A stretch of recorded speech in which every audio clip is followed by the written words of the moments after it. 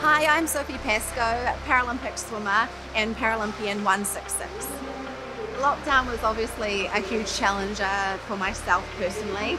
Being 12 weeks out of the water made a huge impact into getting back into uh, swimming and getting the fitness back up. Staying focused can be really hard, and I think this has been one of the most challenging years for that. Staying focused for me was actually relying on my support team um, around me. I have an amazing core support team, which obviously involves my family, my friends, uh, my partner, uh, to my management company, to High Performance Sport New Zealand and Paralympics New Zealand, and relying on them to be able to keep me focused uh, through such a challenging time.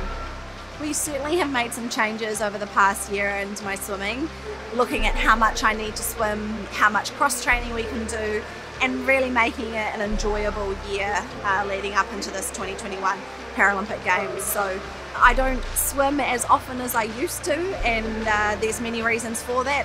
Uh, but we very much focus on quality over quantity now, and we add in the cross training factors, which allows me to have um, another environment and another group of people around me.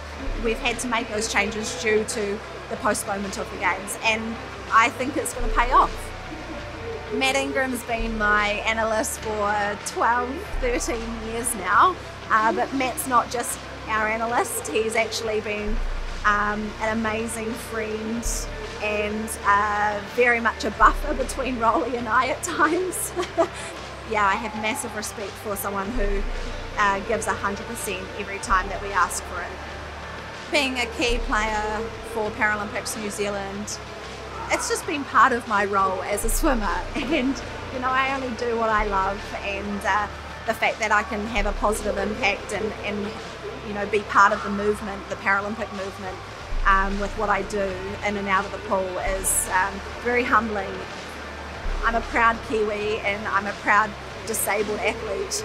I've very much seen the years from when uh, Paralympic sport didn't get the, the TV coverage and, and the media supporting us as much as what it does today. So I think it's a very powerful role to be in. I hope that my legacy overall is something that people look up to and be inspired by.